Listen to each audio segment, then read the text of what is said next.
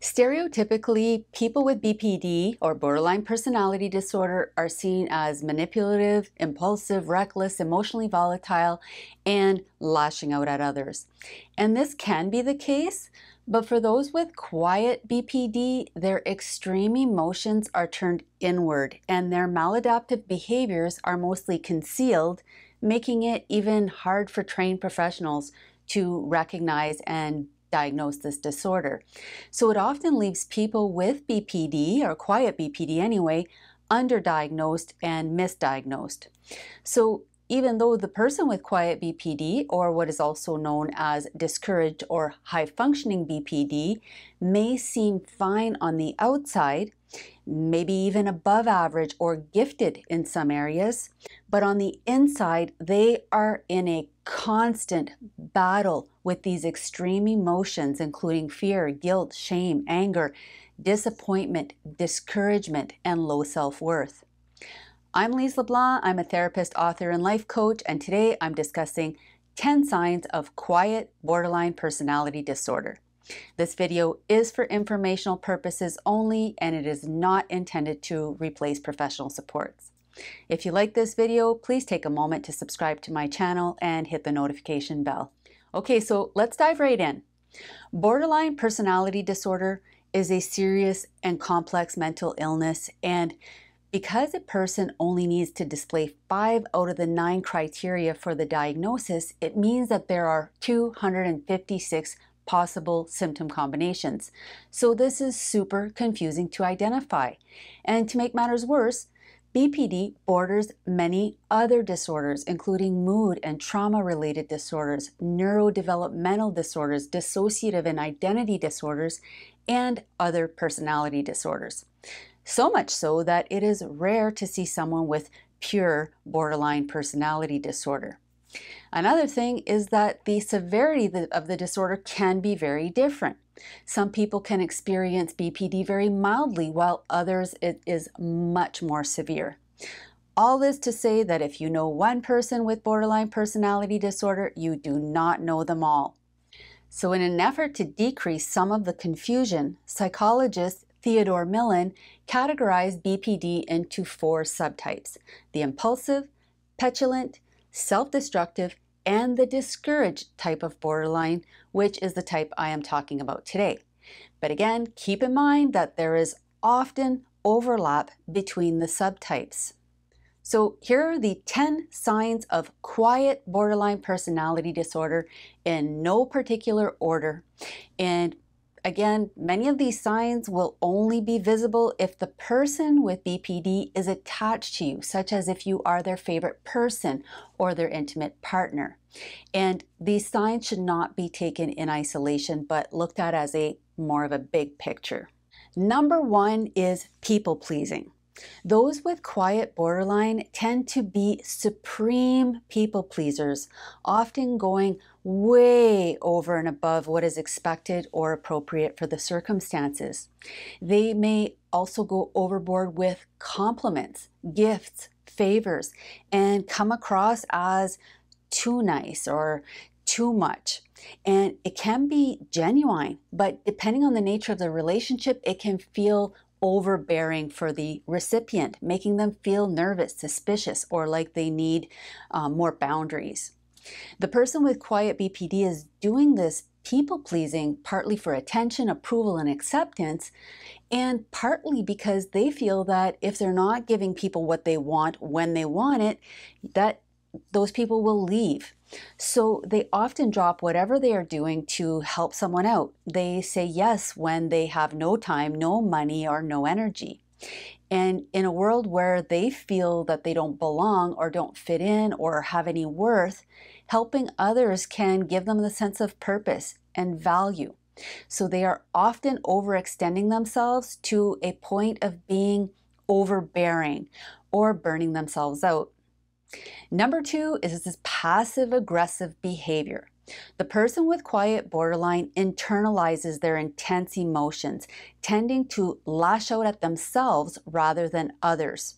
They may, on occasion, lash, lash out with an intimate partner, but they are much more likely to act in passive aggressive ways um, towards everyone else. And this is because they have been taught to hide their emotions, that their emotions are not valid, they're wrong, irrelevant, and should be suppressed. So instead of showing anger or aggression, they will act as though everything's fine and then sabotage you. Or they may say things like, Of course, you know best, your ideas are better than mine.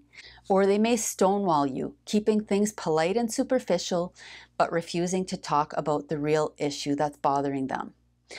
Obviously, this doesn't mean that everyone who is passive aggressive has borderline personality disorder, but it can be a sign when you're looking at the bigger picture. Number three, the need for perfection. The person with quiet BPD is driven by a need to be perfect. They hold themselves to ridiculously high standards that are quite black and white, meaning if it's not perfect, it is a complete and utter failure, they may as well be dead. So, even a 90% successful endeavor can turn into a highly shameful experience for the person with quiet BPD. They have an excessively harsh inner critic that is constantly telling them how horrible, worthless, and invaluable they are. But somewhere in their mind, they think that if they could be absolutely perfect, maybe, just maybe, they could prove to themselves and to you that they do have some value. As an outward sign, you may notice that they are overly focused on their faults and amplifying their mistakes and shortcomings. They may over apologize, partly because they do feel terrible and need to discharge some of the shame, and partly because they need you to soothe them and build them back up. Number four is wearing masks. The person with quiet BPD is like a chameleon, taking on other people's likes, interests, and even their personalities and mannerisms. They lose themselves very easily in relationships because they learned early on that they can't be themselves. They have to put on an act. So you may find them acting a certain way with certain people or in certain situations, and then completely different other times. Again, they feel that their true self is not good enough for anyone, so they try to be who they think you want and need them to be. So, for example, they can seem super happy, cheery, and positive, and sometimes they actually are, but often it's a mask to hide their dark, depressed, down, and discouraged state because they don't want you to see that. Or sometimes they may act discouraged or down when they're not because that's what they believe you need in that instance. In reality, their moods are intensely up and down, but generally well hidden. Number five, hyper and hypo arousal. So, like all individuals with borderline personality disorder, the person with quiet BPD has an overactive amygdala, which is known as the fear center of the brain, but more broadly is the emotional processing center. The quiet borderline is usually extremely hyper vigilant and on edge. They are hyper emotionally aroused and always queued up emotionally. So, for example, let's say the phone rings, they may jump a foot off their seat, or if someone turns a corner, they might scream and have a really hard time calming down. However, unlike with other forms of BPD, when the quiet borderline's fear response is activated, it is rarely displayed as the fight response, but rather as the flight or freeze response. So they are much more likely to run away, escape, and avoid the situation or completely go numb and dissociate from it. Just like other forms of BPD, they can go from zero to a thousand emotionally. This is what's referred to as a BPD episode. It is a full on, uncontrollable, dysregulated emotional state or response where they are acting on pure primal emotion with zero ability to think rationally or process reality. During this period, they are completely overwhelmed with emotion and in a total state of survival. For the quiet BPD, there can sometimes be an external discharge of these emotions especially if it's with a partner or favorite person, which can be extremely nasty, hurtful, or even abusive. But with anyone else, they will withdraw and turn their anger and their negative emotions inward. And this can manifest as self harming or self punishing behaviors. Number six is insecurity. At the root of BPD is the belief that they are bad, shameful, irrelevant, unworthy, unlikable, and unlovable. So if someone does like or love them, in their mind, the only logical explanation is that the other person doesn't know the truth about them. Because the person with BPD feels so fatally flawed and worthless, they believe that rejection is inevitable. It's just a matter of time. So they live in constant fear of being discovered and subsequently abandoned. As a result, they display insecurity, possessiveness, and jealousy with anyone that they feel deeply attached to. You become their end all be all, relying on you for their emotional stability, for their sense of self, for their survival. But no matter how much love and reassurance you provide, they cannot and will not accept or believe that they are worthy of your love or anyone else's. This puts a huge burden on the other person, creating a sense of failure because no matter how hard you try to convince them and show them that you really do love them, they don't believe you. And no matter how many times you reassure them, they will end up pushing you away, testing the limits of your love to prove to themselves what they already know that they are unworthy. So, at work or in social situations, these insecurities are better concealed, but you may notice that they seem overly concerned about how other people are perceiving them or that they ruminate a lot about what was meant or intended by something, or they worry excessively about offending someone. Number seven, they have higher levels of empathy. Sometimes the person with quiet BPD may seem like they're lacking empathy or like they're self absorbed because they do get wrapped up in their own thoughts, feelings, and perceptions. But generally, they are incredibly empathetic, feeling and identifying with other people's emotions so acutely that it causes them to internalize other people's negative emotions and problems and then to get dysregulated. The quiet BPD often gets overly involved in trying to soothe other people's emotions and trying to fix or rescue them.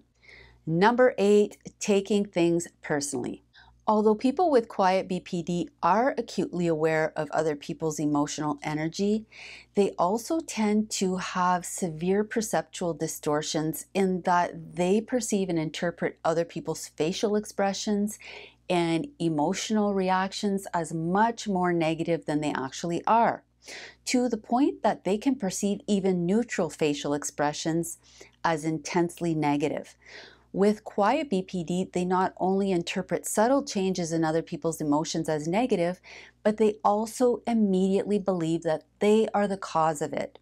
So, if someone is feeling bad, they interpret it as if they must have done something wrong. This can make them feel absolutely horrible about themselves.